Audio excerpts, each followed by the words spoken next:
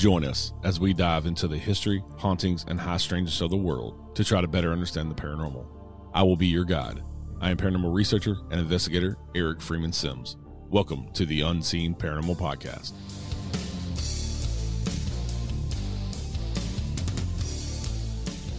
Hey, everybody, welcome back to the show. Today we have an awesome guest for you, but before we get there, let's do a little housekeeping here. Please go rate and review the Unseen Paranormal Podcast. If you listen on Spotify or Amazon, I would greatly appreciate it. The more rates and reviews that we get, uh, the more people find the show, and it uh, it goes up in the rankings and all that good stuff. So if y'all would please go do that, that would be great.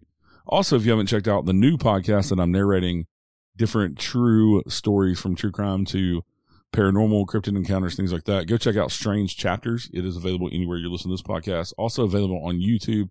Uh, some of the episodes have a video component to them.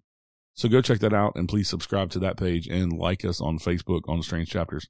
So with the housekeeping out of the way, let's get to this week's episode. This week we have author William C. Grave on the show. His book is The Lady in the Bay Window, a true story of a haunted Sheffield home. He is over in the UK and has lived in this haunted house for uh, going on 19 years.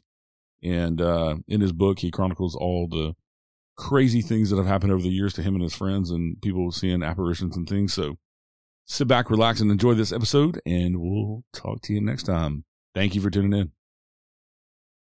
Hey, Will, thanks for coming on the show today and chatting about your new book. No problem. Thank you for having me, Eric. Yeah, it's my pleasure. I uh, actually saw a post you did on Facebook uh, talking about having your new book out that is actually about a house that you have owned for the past 20 years and still own and live in. And uh, I love these personal stories, especially when people write books, because it, it's coming from the actual person it happened to.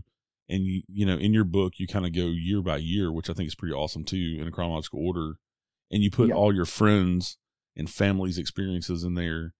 And I just love the way that it's set up like that. And it's always nice to talk to the people that the things actually happen to, and the fact that you still own the house too. Yeah, yeah. I'm, I'm actually, well, I'm actually sat in the house now as I'm talking to you as well. So if you hear any strange noises in the background, that's not me.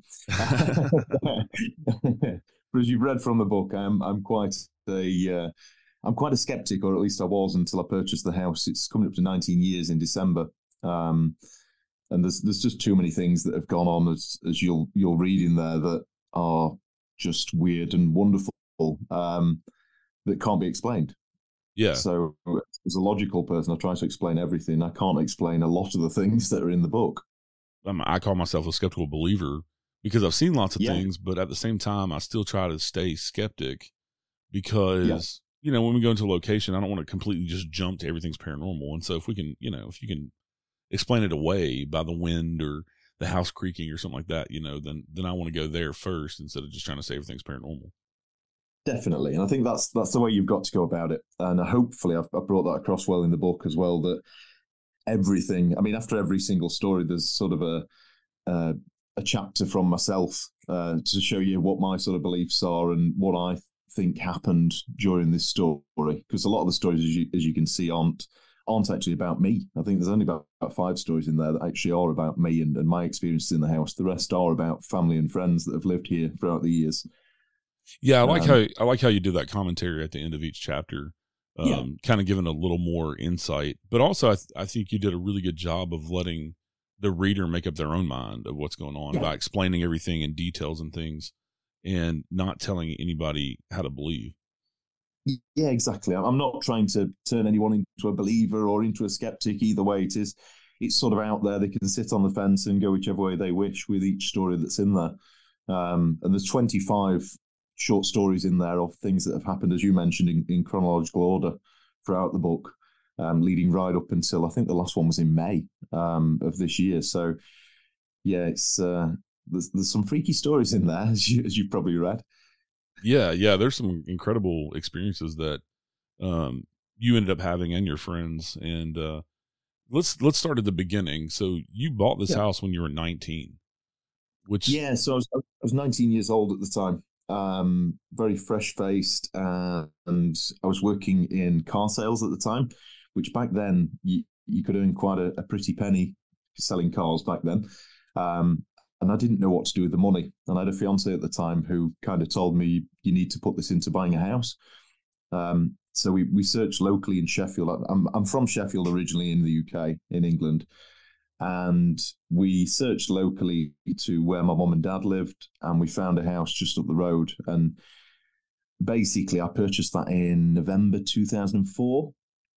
Um, and about a week before I was getting the keys to move into the house, it was Christmas time at this stage. It had gone into December, and the everything had gone through for the house. And they invited me to uh, a Christmas do through work, so sort of a Christmas party. And a good friend of mine came to pick me up from my mom and dad's house. And he pulled up outside and said, uh, did Will, did you manage to buy the house? Did you did you purchase the house you were talking about? I said, Yeah, actually, I'm, I'm getting the keys in about a week's time. And he said, Oh, whereabouts is it? I said, It's just around the corner. It's sort of five minutes drive away from mom, mom and dad's house.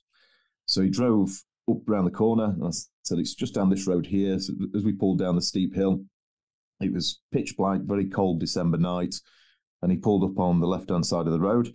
We sit on a different side of the car to you guys, so I was on the passenger side of the of the car, and I looked up to my left hand side and said, "It's this one here." And he parked up bang outside the house. It's a very quiet road, and I pointed up at the house and said, "It's that one there."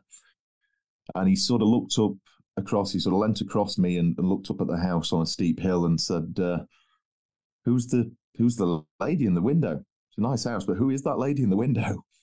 And I kind of looked at him and, and did a double take, and I looked back at the house, and I looked up at the window. I couldn't see anybody in the windows. Now I knew that the house had been empty for six months. Um, there's no furniture in the house. There's no carpets down or anything like that. No curtains up even in the windows. And I looked again and said, "There's there's nobody there." And he said, "No, there's a lady in the window." And we sort of deliberated about this for a couple of minutes, and then he drove off. And as we were driving down the road, I sort of quizzed him on this and just said, uh, "Were you were you winding me up? Was that a joke um, about the lady?" He said, "No, I could see a lady in the window." I said, "Well, what does this lady look like then?" And he said she was sort of in a sort of eighty year old, I would say, sort of grey, short hair. She had a, a cardigan on, a dark coloured cardigan, and a white blouse, and she was leaning with both arms in the bay window, sort of staring down at us like she didn't want us to be parked outside her house. Um, and I, I, didn't think much of it, Eric, at the time. As I said, I was a, a huge skeptic, never been a huge believer in anything, yeah, um, like spiritual or anything. And at the time, I was 19 years old. I just sort of shrugged it off and, and left it at that. Now, I moved into the house a week later. My fiance at the time didn't want to move in without any carpets in the house. She said, I'm not moving in until we've got furniture and carpets and everything else. And myself, being quite a, giddy young 19 year old, I just wanted to get the keys and get in there and have a beer with the boys. Um, so I went to the estate agents and got the keys to the house. And I drove down to the house. Um, first day, parked up, got the keys in my hand, walked up to the house, very excited, and walked in. And I was greeted by uh, quite quite a tall gent. I could hear some rummaging around happening in the house, and there was a quite a big, bald headed man, quite muscular, walked towards me. And I said, Oh, hello. Um, who are you? and, I, and, he said, uh, Oh, sorry, I'm, I'm Nick. I, uh, I, am the previous owner. I bought this house and I bought it with my mom and did it up a little bit. And uh, basically, she uh, he stepped to one side and she was stood behind him. And this uh, little old lady sort of looked at me and said, "Yeah, I only lived here for a couple of months. I just couldn't get on with the house." um, she just said there's there's something not right about it.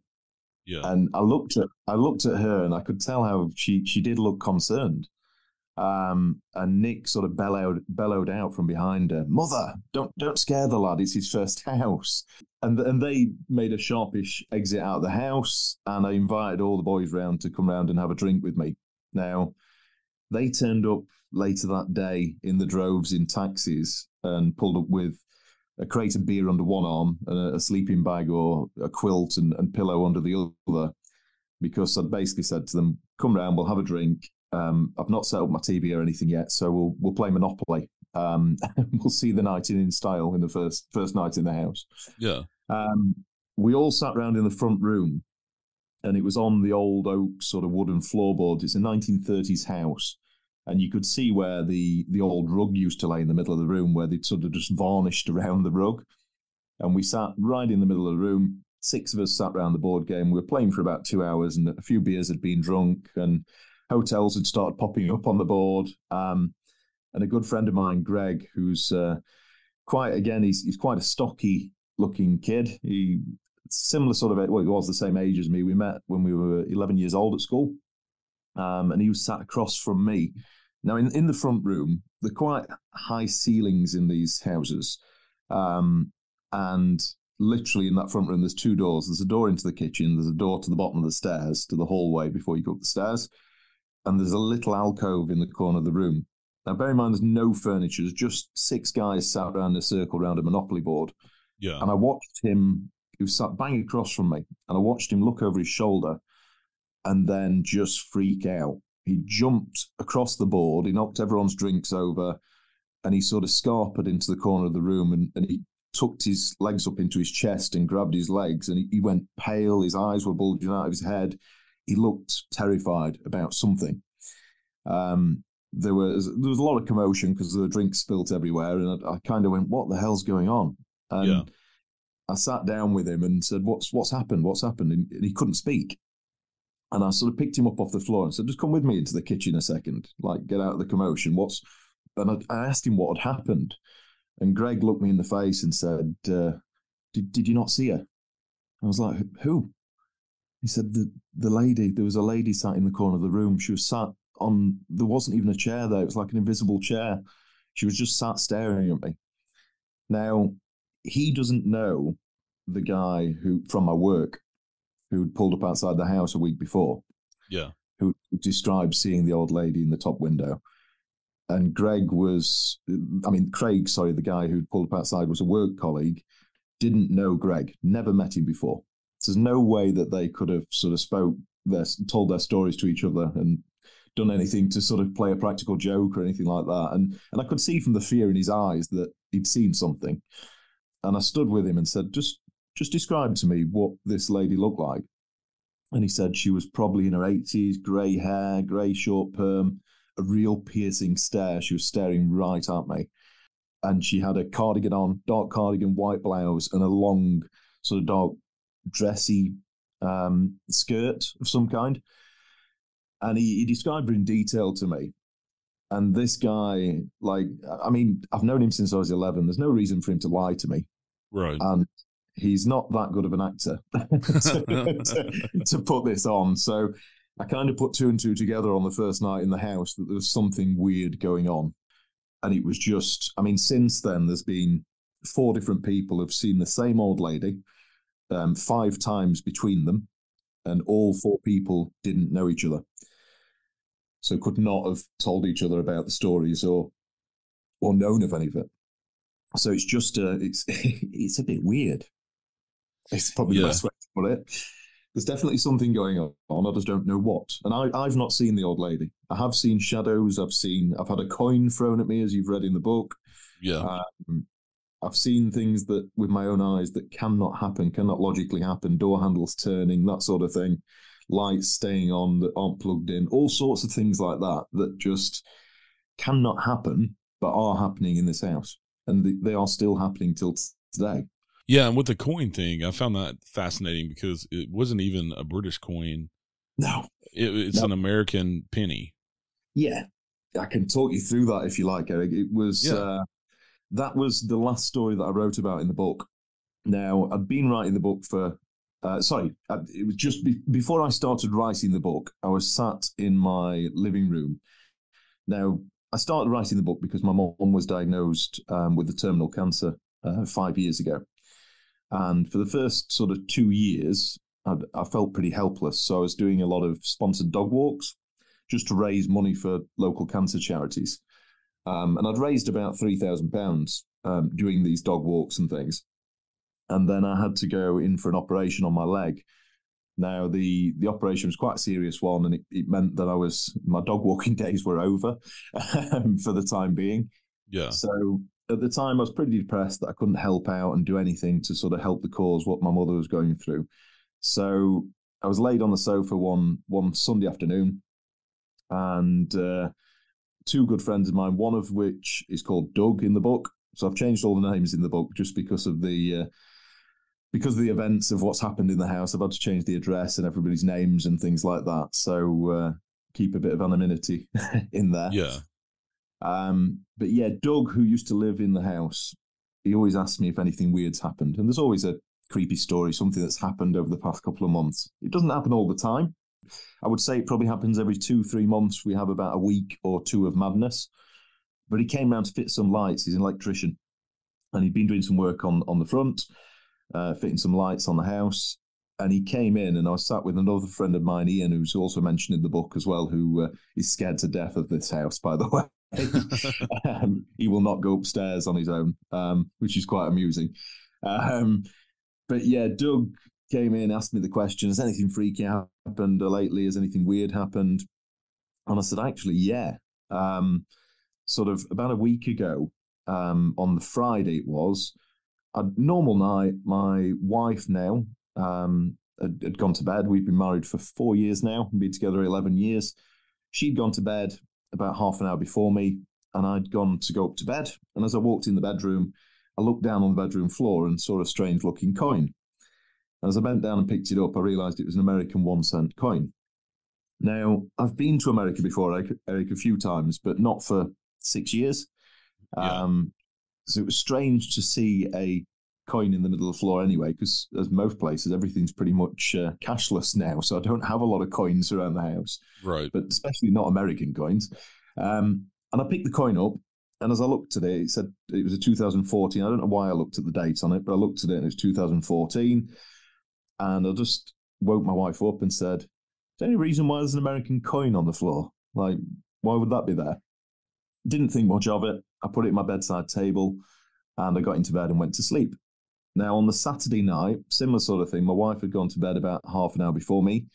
Um, I came upstairs, I walked in the bedroom, the same position in the middle of the bedroom carpet, an American one cent coin. So I bent down, like deja vu. I bent down, I picked up the coin, I looked at it. It said 2014 on it, so I assumed it was the same coin. I looked in my top drawer, the coin was missing, so then thought it must be the same coin. Um, and I woke my wife up again, which is probably not the best thing to do two nights on, on in a row. Um, right. so I woke her up, and she was a little bit grouchy, bless her. Um, and she said, Why have you woken me up to tell me? I said, Well, it's just weird. Why have I just found this in the middle of the floor? Like, have you put that there as a joke or something? And she said, No, why would I do that? Just sort of uh, give it give it here. Like, uh, sorry, no, this this night she didn't actually. I put it back on my in my bedside table. It was the third night that I walked upstairs.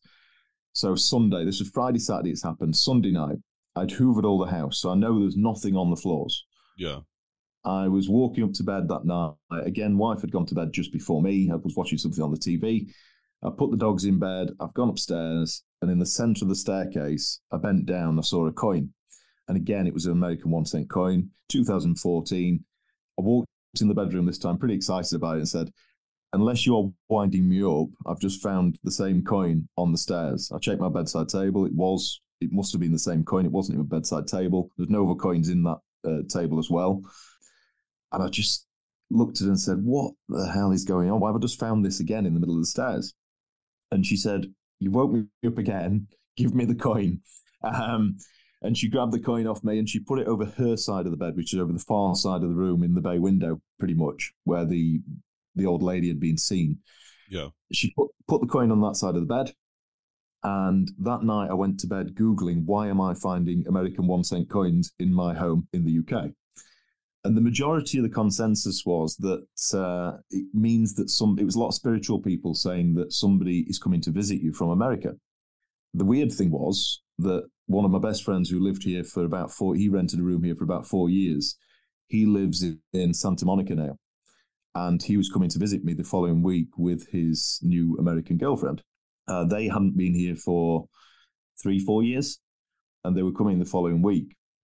So I kind of thought, well, that's that's quite weird that I've googled this and it does say that it's going to be somebody visiting from, from America.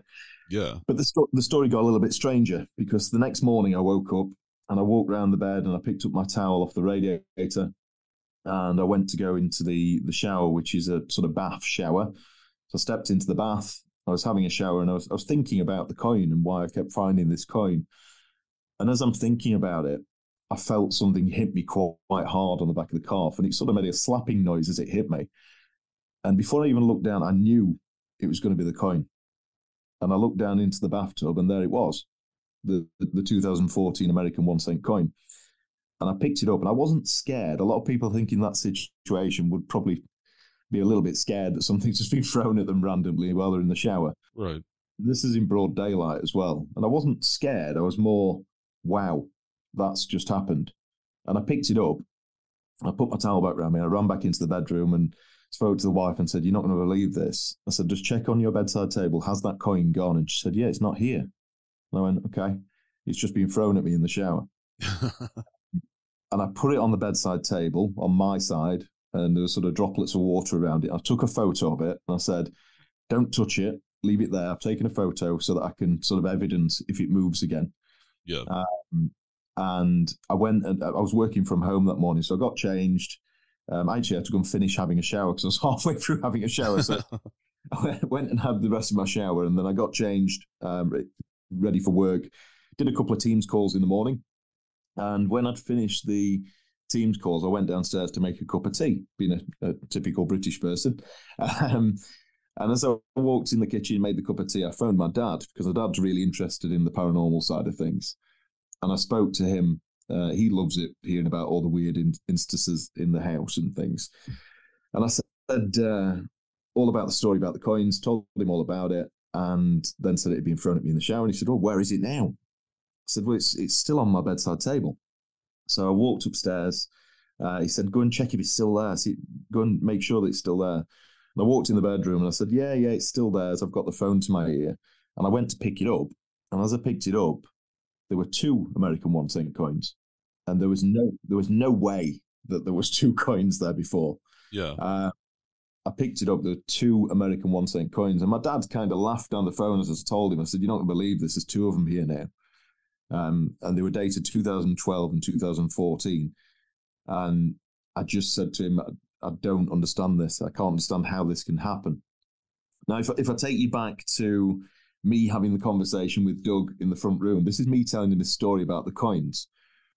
So he's fitting the the final fix on the electrics. This is the following week after all this has happened, and I'm telling him this story.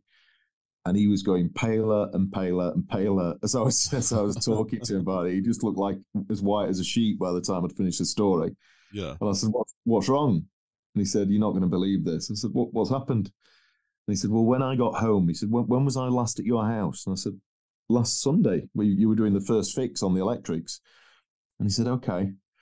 Well, I got home that Sunday. This was the night before the coin was thrown at me in the shower the next morning.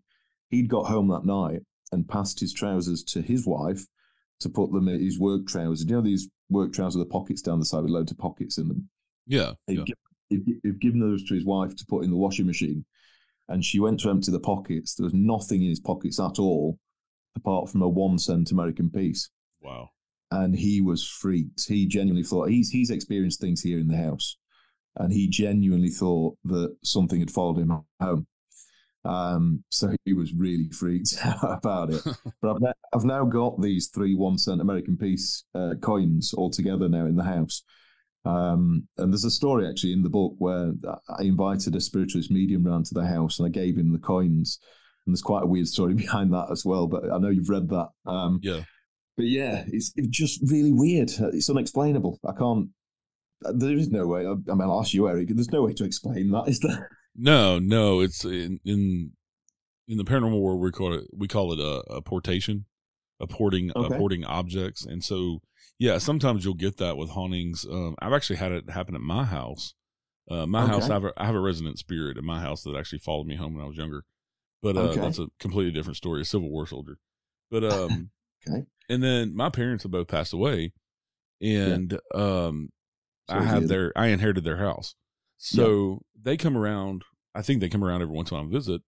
Well, last fall, right after uh, Thanksgiving, uh, I think it was the first of December. You know, candy corn, like it's a big thing here yeah. in America. Candy corn. Yeah. Um, I'm diabetic, so I don't eat candy, and so there's no candy in our house, and I have eight dogs. So okay. I say that wow. because if food hits the floor, you're going to eat it.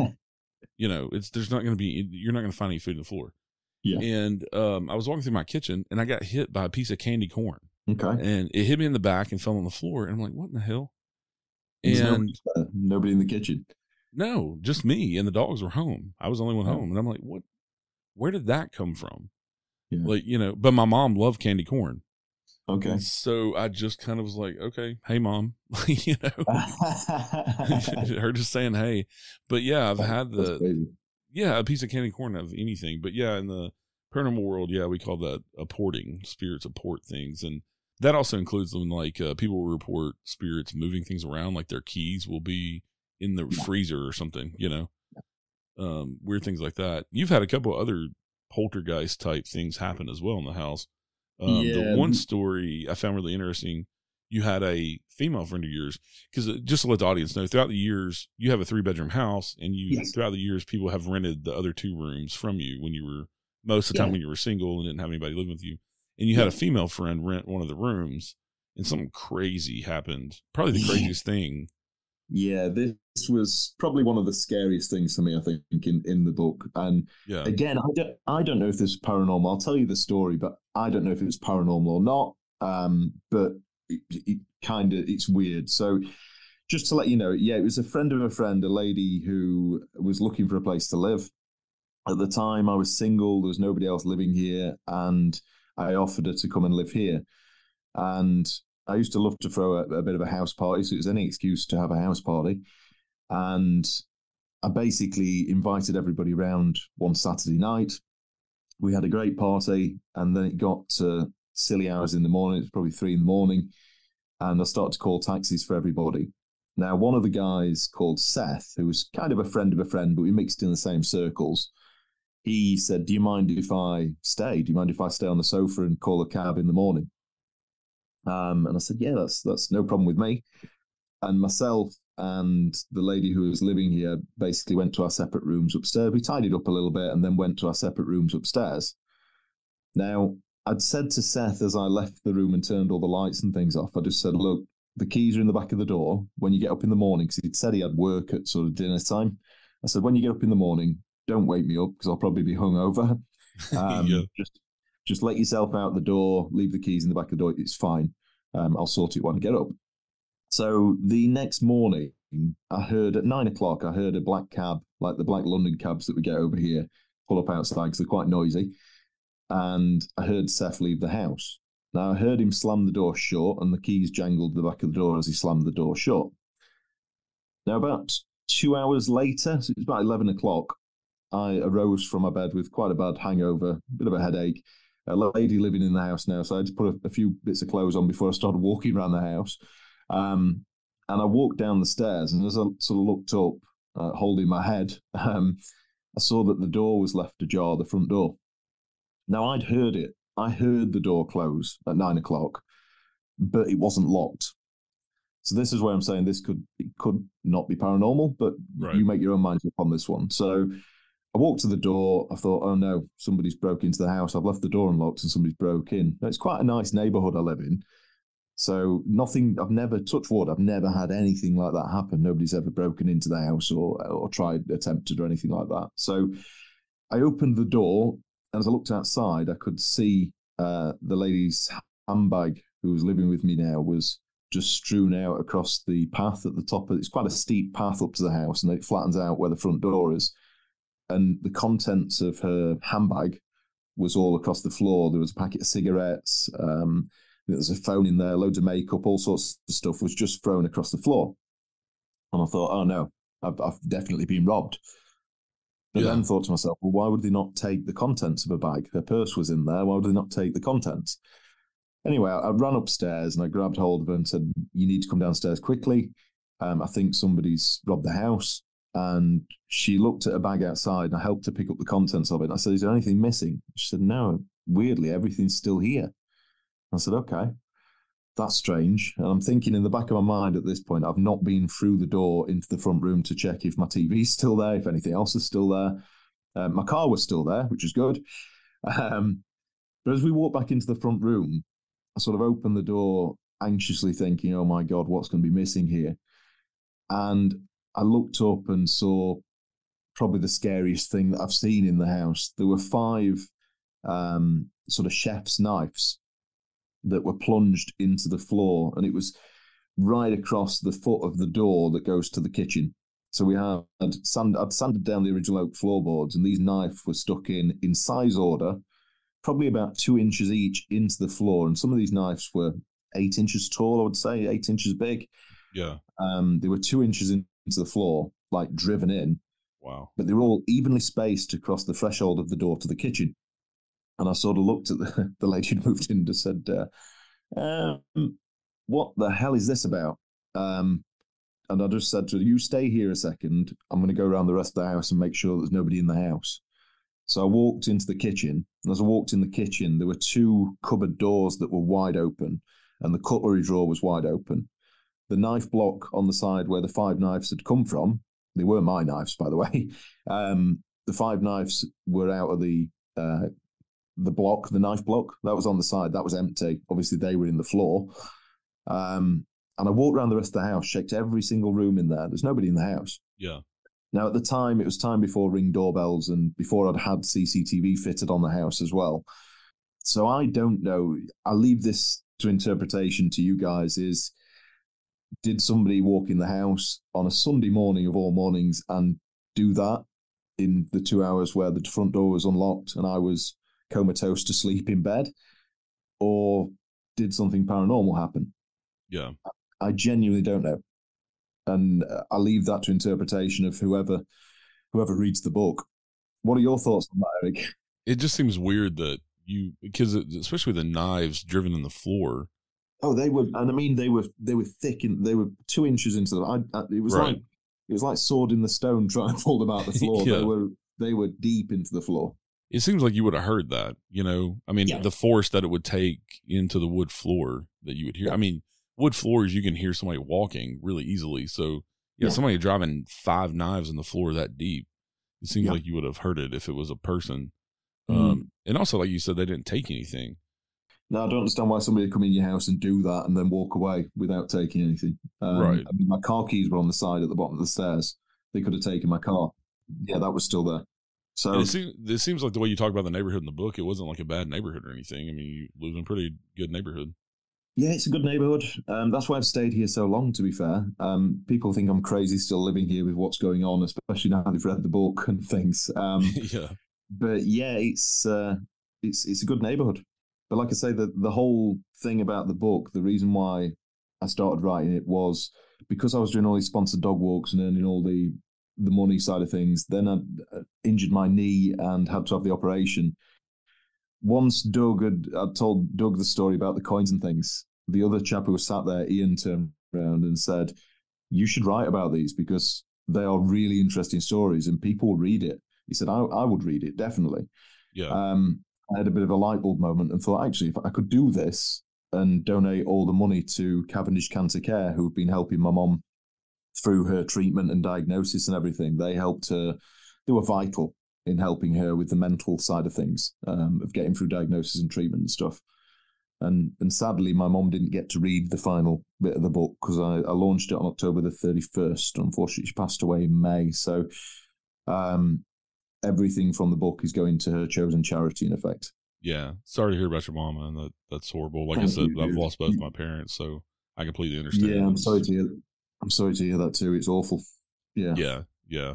But it's awesome that you're you're doing this amazing thing um, to help this charity out, and you know, not gaining anything out of this book.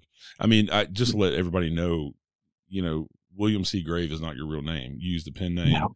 Everybody's names have changed, like you were saying. You changed the address as well. Yes. And but just get the story out there, and and uh, because it is an interesting story, and the fact that you had so many people that have had experiences, uh, Yeah. you know, lends credibility as well, and in that yeah, there's crazy stuff going on in your house.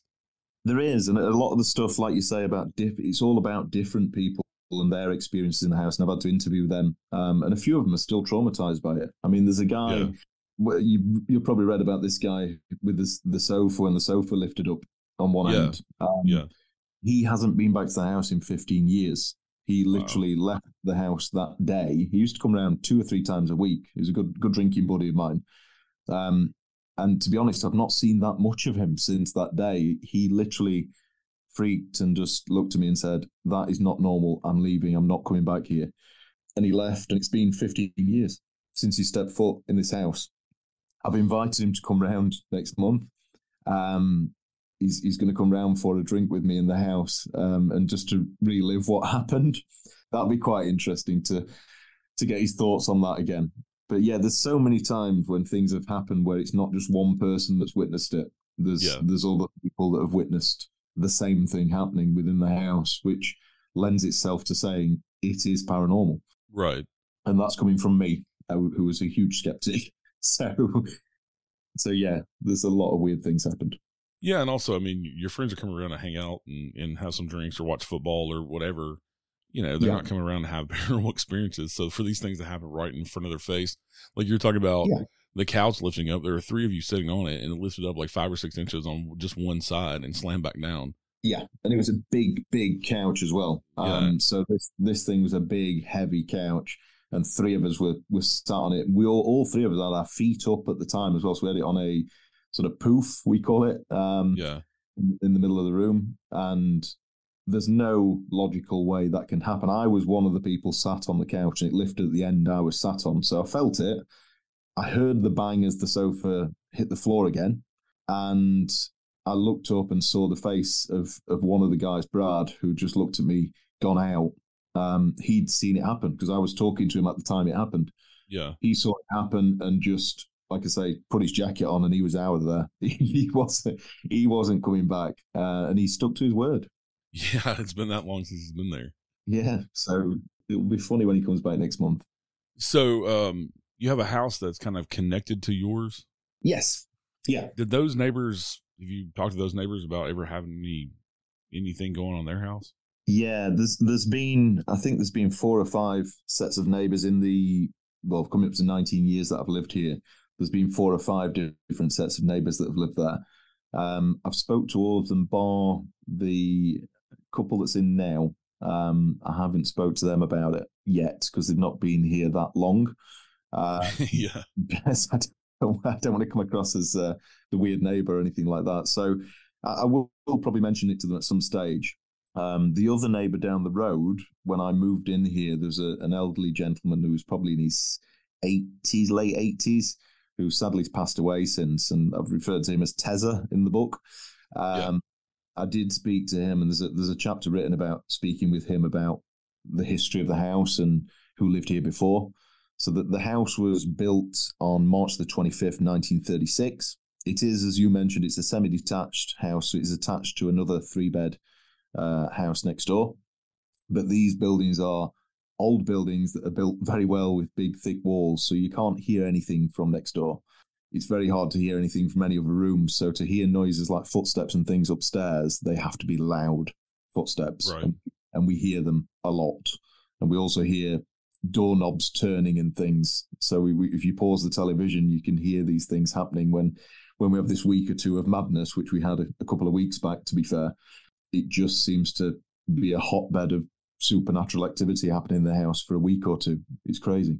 Yeah, that's kind of what I've noticed in my own house. It'll kind of ramp up for a little while and then it comes back down. Like they're almost, I don't know, Yeah. like they have to recharge their batteries. Yeah, yeah, that's kind of how it feels. That's exactly how it feels here. I mean, when it did ramp up a few weeks ago, we had something we've never had before, which was really weird and quite creepy, to be fair. Um, I woke up at about seven o'clock. Bear in mind, I've just had, we've got a little boy now who's, um, he's downstairs at the minute with my dad. My dad's, his granddad's looking after him uh, while we're on the call. Um, he's six months old now. Um, but a couple of weeks ago, seven o'clock in the morning, I woke up. My wife was asleep next to me, and the little one was asleep in his cot next to her. And I got woke up at seven o'clock by the sound of a xylophone. Now, it was quite a distinctive sound. Yeah. Now, bear in mind, I don't have a xylophone. Um, I don't play a xylophone, and there's not one in the house. We do have some kiddies' toys and things, but not a xylophone. Um, Yeah. But playing quite a playful melody. Now, I sort of sat up out of bed, and my first thought was, being the logical person, have I left my phone on from the night before listening to a podcast or something like that? Right. So I checked my phone. My phone battery was dead. I checked my work phone. My work phone was just, it was on silent, but there's nothing playing on there. I walked around the other side of the bed and I checked my wife's phone. There's nothing on that. But as I walked around the other side of the bed, I realized the music was coming from my side of the bed and it was coming from the wardrobe. So I walked back over and sort of really sort of uh, rubbing my head, thinking, what the hell is this noise? And it was right. still playing, playing this playful tune.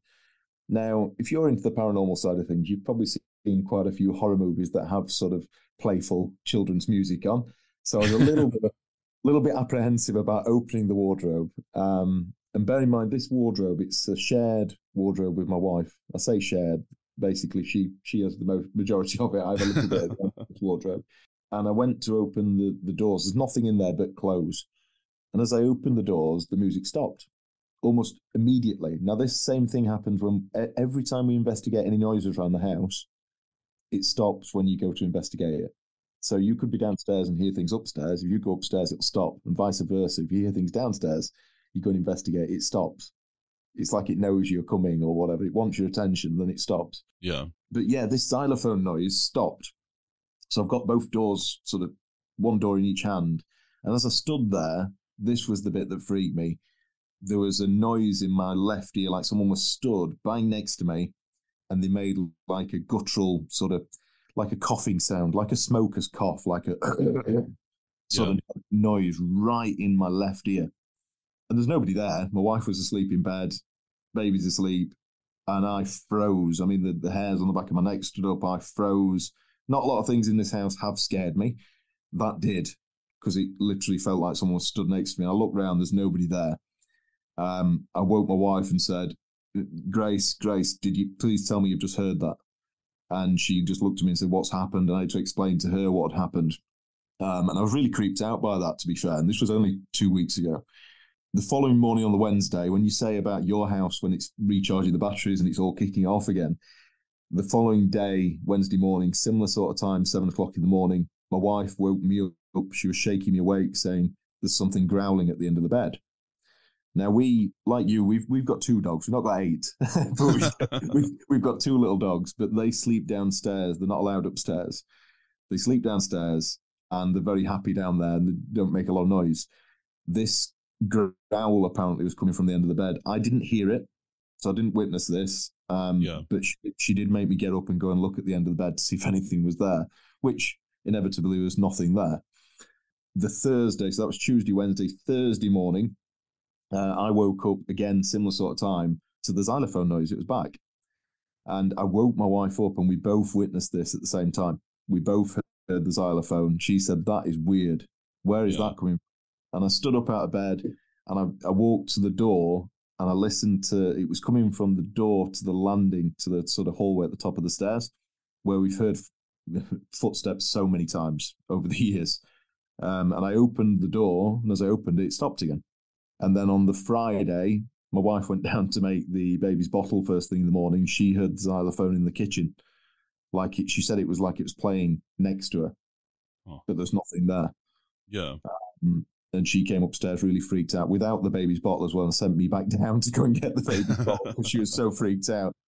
Like, yeah. so I, I don't really get scared by these things very often. Um, my wife, on the other hand, hates it. She really, really creeps her out. Um, but yeah, on the on the Sunday, this is sort of where it it built up to. On a Sunday, I was laying on the sofa, uh, little six month old baby on my chest. Both dogs were laid, sort of curled up by my feet. And my wife was upstairs. Um, she'd had a little bit too much to drink the prior night, and she'd uh, she was a little bit hungover, so she was in bed, um, and she was fast asleep upstairs. So I'm laid on the sofa. It's only about nine o'clock at night, but with it being uh, sort of autumn winter time, it's quite dark um, at that time over here, and I could hear the door handle at the bottom of the stairs rattling, and it's a, it's like a to describe this to you, it's a spring-loaded door handle. Yeah. So imagine you have to put your hand on it and pull it down to then open the door. I could hear it rattling, so I paused the television and this rattling sound got louder and louder until the door was actually like rattling uh, on its hinges, sort of thing. It's weird. And then the door handle sort of snatched down a little bit, and then the whole noise stopped. But the dogs went mad. Now, the dogs don't often sense things around the house, but they went absolutely crazy at the door and were trying to sort of scratch to get to the door. I jumped up with a little one on my chest, walked up to the door, opened the door straight away. There's nothing there, just a, an empty hallway and staircase. Yeah. In dog. I walked upstairs, checked on my wife. She was fast asleep in bed. The front door was locked. There's no windows open. It's cold over here this time of year. Yeah. There's definitely no windows open. There's no explanation for that. That is weird. And that was the last thing that happened of the sort of week of madness, if you like. And then it stopped. I've not had anything since uh, since that. But it'll it'll it'll be back. yeah. I've heard people that I've talked to before in your particular type situation where they've things ramp up when they do podcasts or they do interviews. Have you noticed any of Mm. that with having the book out? We did. I did a podcast. Um, there's been quite a few things happen when I launched the book. It, almost as if something new I was talking about it at the time. Um, now I launched the book on Halloween of all days as well. Um, Yeah. Mainly because it was the end of the month. It, it just coincided. It was Halloween, and I'd finished it, and it was ready to publish at that time. And I thought payday's normally the end of the month for everybody, so it's probably the best day to do it. right. Um, but it, it coincided with Halloween, which was great as well.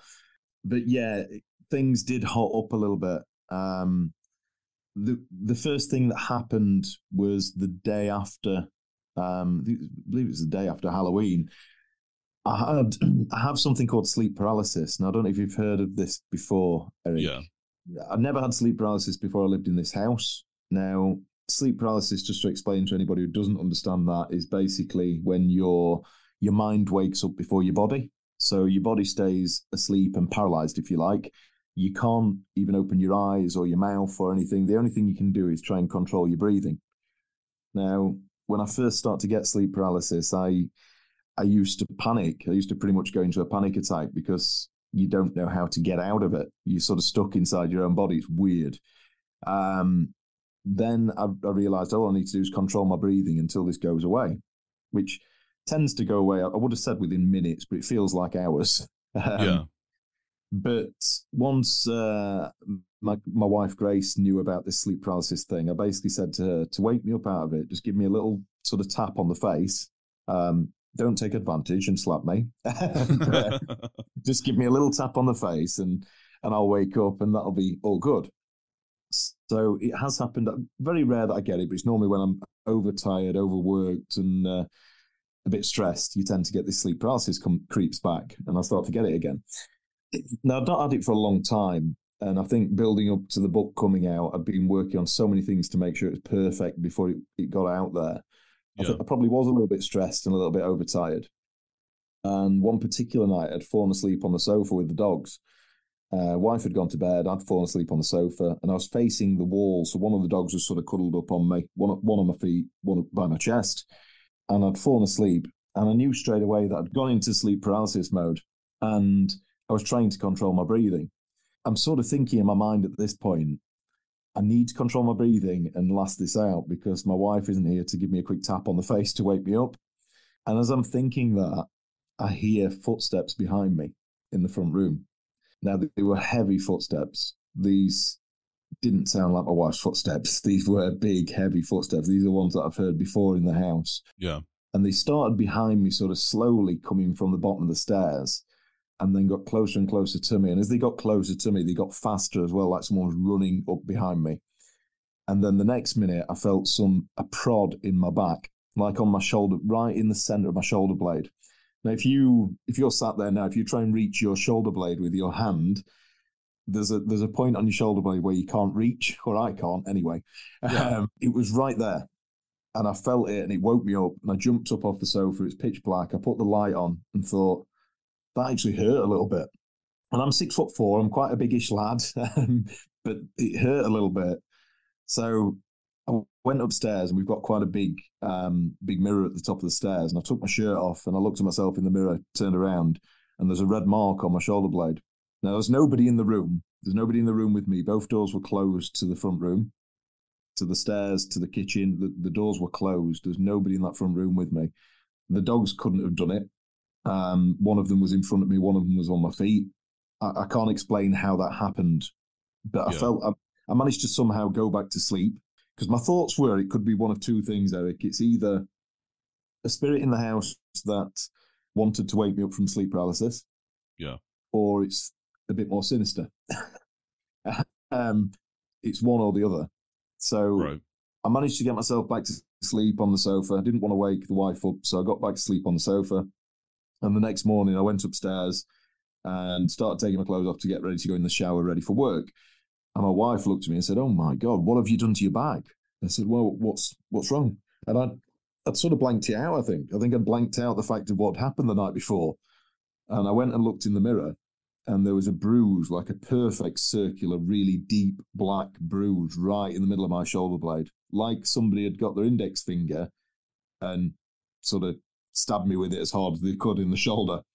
Yeah. It was very uh, sort of pronounced on my shoulder blade. And I went in and told her what, what had happened.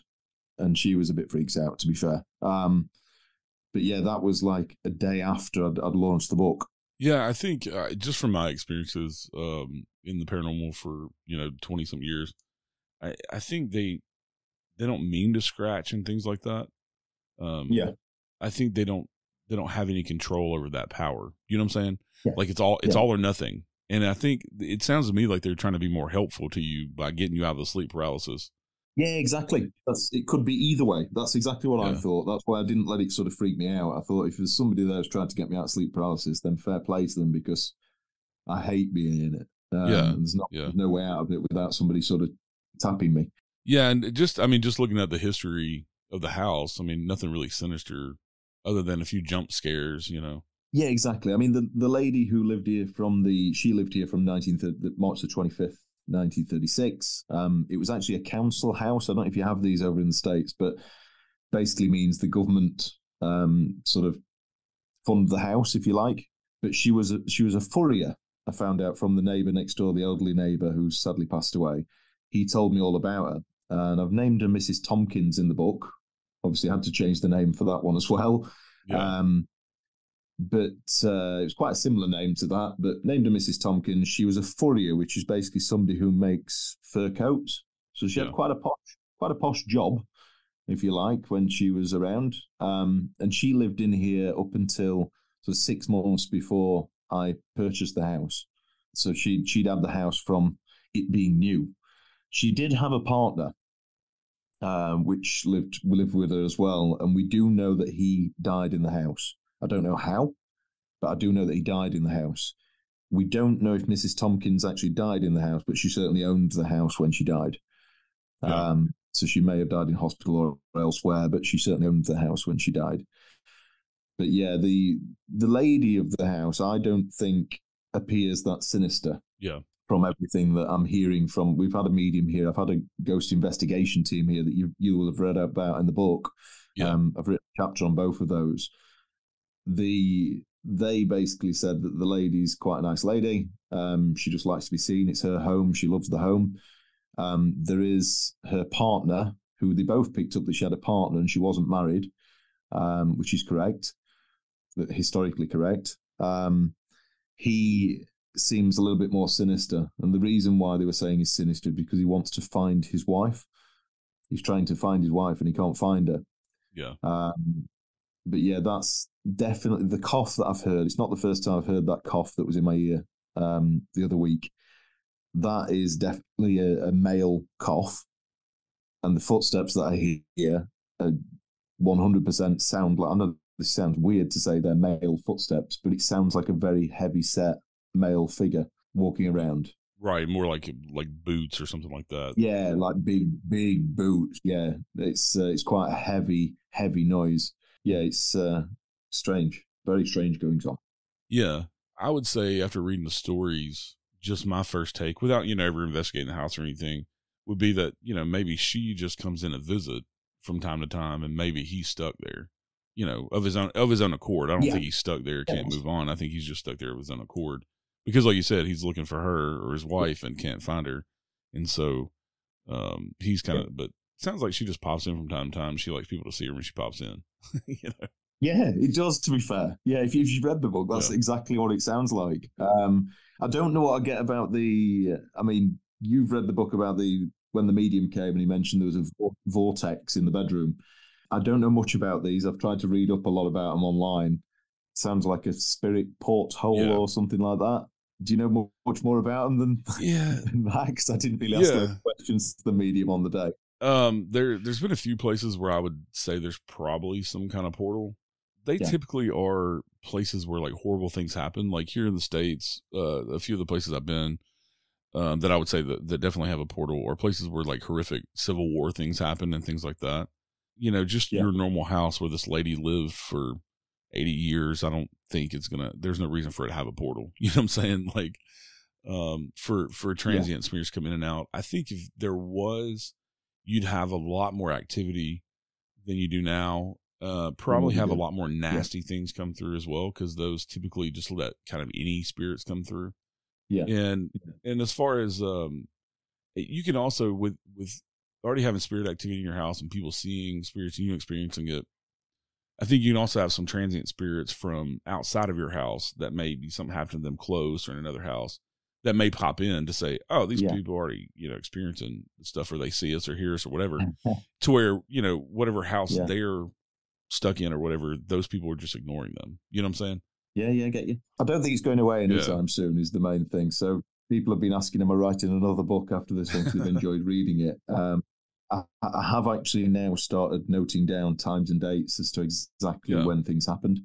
Um, I've probably got about seven chapters worth of things that I could write about now, but not enough to fill a book. And like you said, it's not happening Yeah. all the time. So it's going to take a hell of a lot, long time. I mean, that's 18 years worth of experiences in that book. Don't get me wrong, not all the experiences in there, but I didn't want to write about footsteps every chapter. Right. Um, so, so I've just wrote about the noteworthy things that are in there. But yeah, I can't believe it's managed to get over to the states. The book, it's crazy.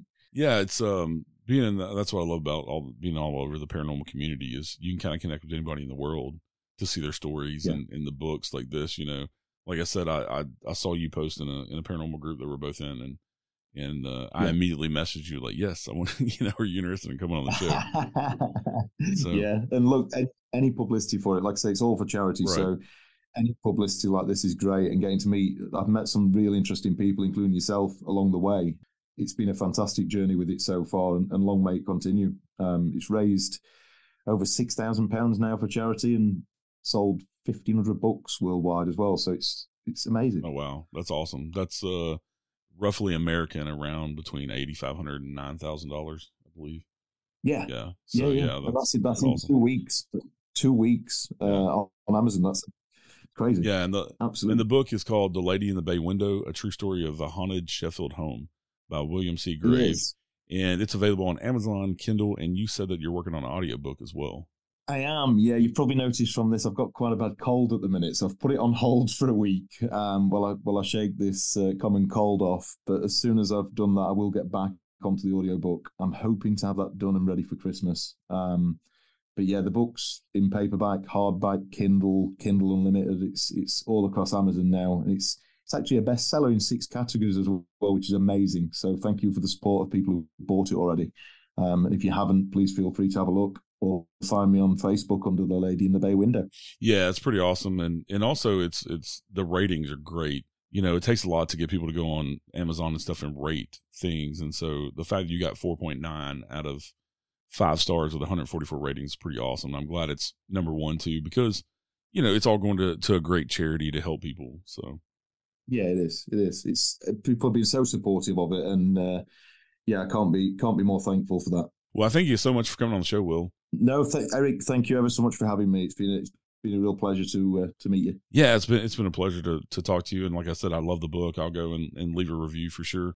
Please go check out his book, whether you do it on Kindle Unlimited or buy a copy of it, because like we're saying, all the all of it goes to a really good uh, cancer charity and uh, helping people out. And I guarantee you'll you'll enjoy the book.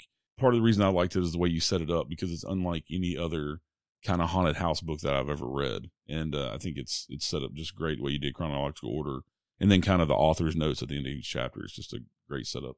Cool. Thank you ever so much. I really appreciate your feedback. Yeah, and I look forward. I'll I'll I'll keep an eye out in case you have some another book come out. We'll have you back on the show. Cool. Sounds good to me. Thank you, Eric. All right, Will. Have a great day, everybody out there. Thank you for tuning in. Y'all stay safe out there. We'll see you next time.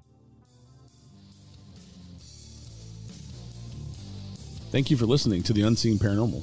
Join me next Wednesday with a brand new guest, and please rate, review, share, and subscribe on Apple, Spotify, or wherever you're listening right now. This helps more people discover the show. You can connect with me over on Facebook, Instagram, Twitter, or join us in the Unseen Paranormal Lounge group on Facebook. Until next time, remember some of the scariest things are unseen. You have come